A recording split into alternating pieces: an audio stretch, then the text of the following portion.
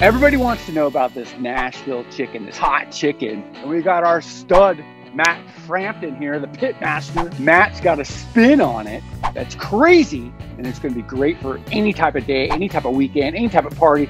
So show us what you got, man. What do you got going on over there, man? So we're gonna make some Nashville hot chicken bites, which is perfect for tailgating season. I know there's a lot of football coming up. Then, when we're done with that, we're gonna make a Nashville hot chicken personal sized pizza, which you can set out for a party or do on your tailgate or anything like that. Sounds good, bud. I can't wait. So I have some chicken thighs trimmed out here.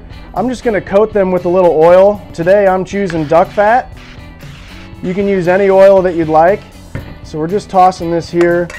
I actually marinated this chicken for about four hours in some buttermilk, which will make it a little more tender. I have two cups of pork panko here, and there's a company that actually makes this. You can buy this stuff, carb free and super tasty.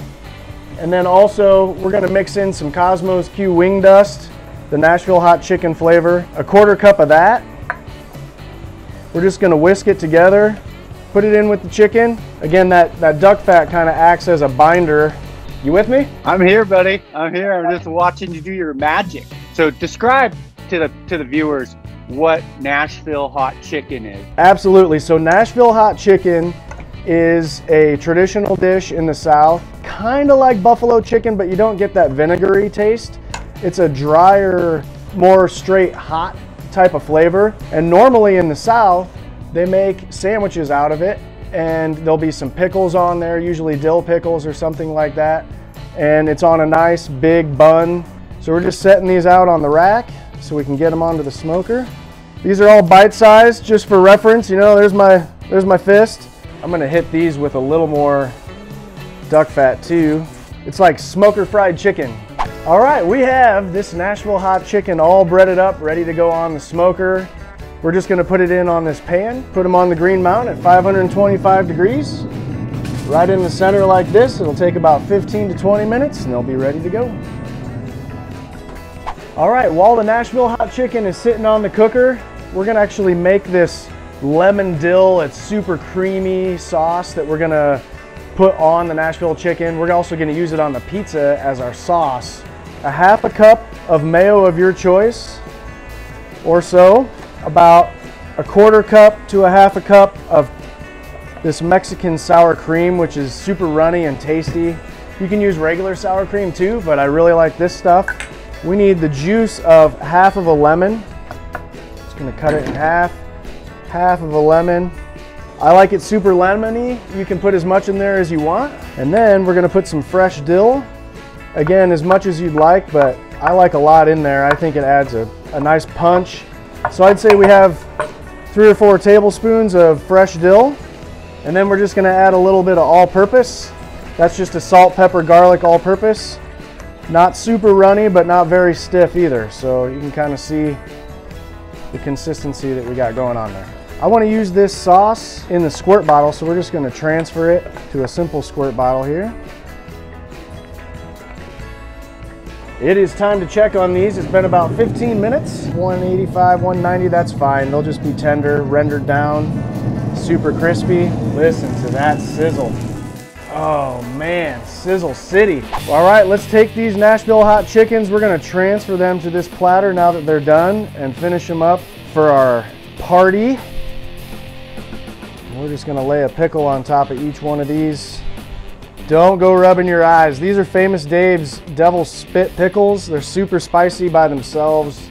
We're just gonna take our sauce, give all these a drizzle, then you just take a toothpick, stick it right through, and then boom. I don't know why, I'm just choosing this one right in the middle here. Yeah, that's probably the one. Got the pickle, super easy to pick up. Got the super spiciness from the Nashville hot chicken, and you got some heat from that pickle but the lemon dill sauce really mellows it out. Okay, well, you're gonna make a pizza out of it now? I think we're gonna make a pizza out of this. That crazy? That's crazy town, man. That's crazy town. You made these nice little bites, and now we're gonna make a pizza out of it. My outdoor grilling dough by Urban Slicer works awesome. This is actually one package, and it created five crusts. You can see I've just pre-grilled it just a little bit. We're just gonna do a little bit of our sauce here down at the base, just a little. Then we're gonna take our Nashville hot chicken and just sort of break this onto our flatbreads. And we're gonna put the Nashville hot chicken on, then we're gonna add some cheese. What I'm using for a cheese here is just a whole milk mozz, very little of it. If you use a whole milk mozz, it should melt nicely. And then we have some crumbled queso fresco, which I thought kind of adds a, a nice twist of flavor and some meltiness to go with that spicy Nashville hot chicken. You don't need a pizza peel or anything for this. You can just take these and put them right on the grill. They'll cook for about 10 minutes or so until the cheese is nice and melty. These are called peppadew peppers. I don't know if you've ever seen those before, but they're like a piquante pepper. These are actually super sweet. So they're gonna go real nice with the heat that we already have in the Nashville hot chicken.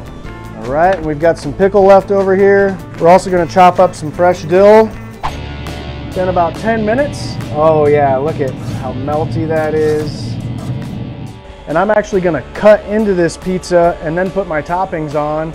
It kind of it keeps the presentation of the pizza a little more pretty. We're just gonna cut this into fourths. So down one way, down another way.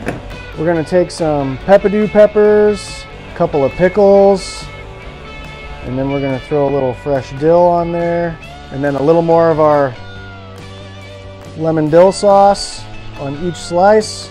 There you have it. You're ready to go. You can have two options with the same base protein, totally different flavor profile, different application. One of them is just a slice. The other one, we've got the bite size on a toothpick. Oh man, let's see how this tastes.